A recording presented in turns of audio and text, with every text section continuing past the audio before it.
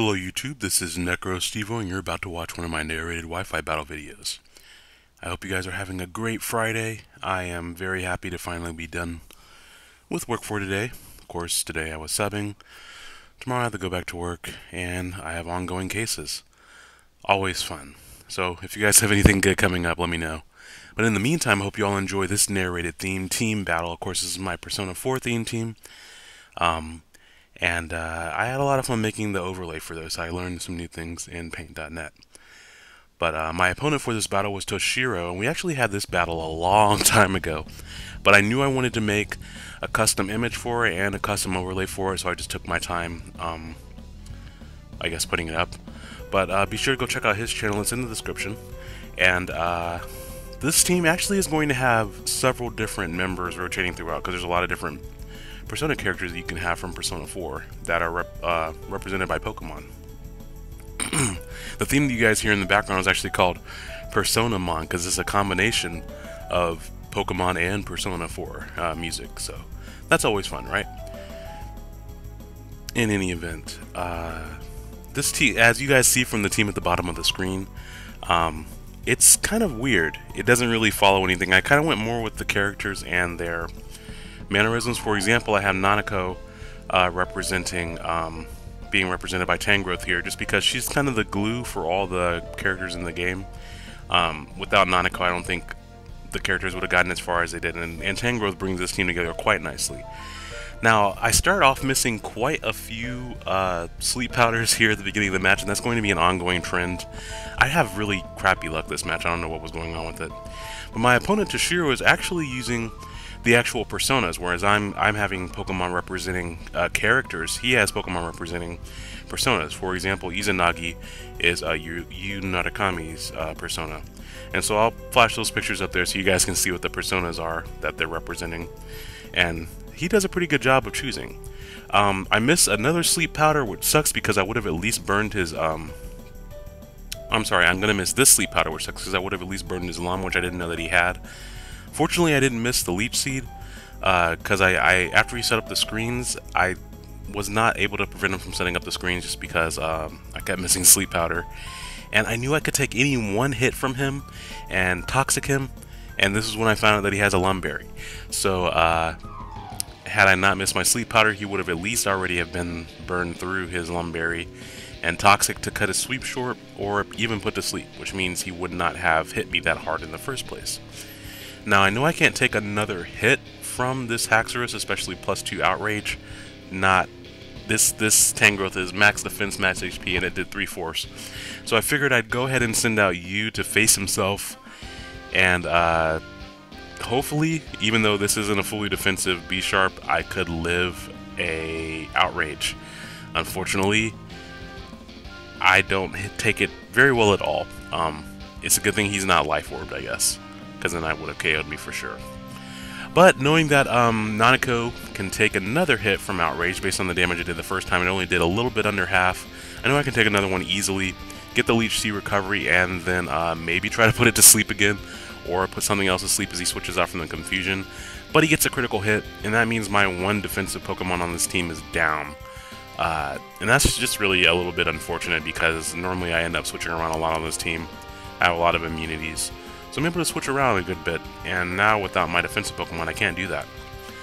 Now, Himiko is actually uh, Rise's persona, and um, Himiko is the kind of a scouting type, and Risei doesn't take part in battle. She hangs back and gives the party uh, battle information and tells you about weaknesses. And so the Gardevoir setting up Reflect and and you know setting up dual screens and it probably has some status afflictions to do as well or passing around wishes and things like that that's going to be really annoying for this team, especially the Reflect. If I had just been able to stop that thing from setting up Reflect in the beginning with Sleep Powder, I would have been able to do so much more damage throughout the turn of this battle. Now, Sukuna actually represents uh, the persona for um, Naoto-chan, and while it is very, very speedy, it is definitely not it does not sacrifice any attack power, and so I, I figured he, he would switch, which is why I Thunderwaved on his uh, way in with Lucario. And I see him set up the nasty plot, and I was like, crap, okay, I'm gonna go for Iron Head flinches.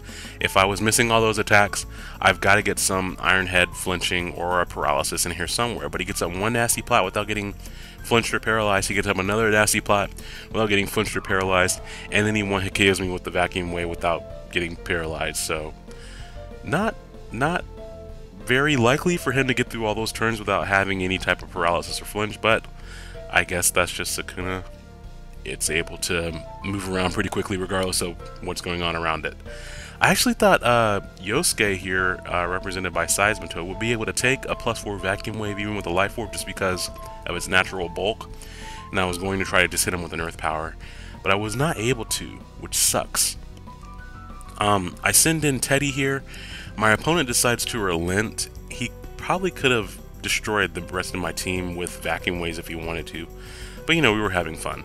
So why not? He sends out Kintoki Doji, and it's funny that once again Teddy must face himself. Kintoki Doji is the persona of Teddy, and whom better to represent something big and round and lovable like that than Snorlax.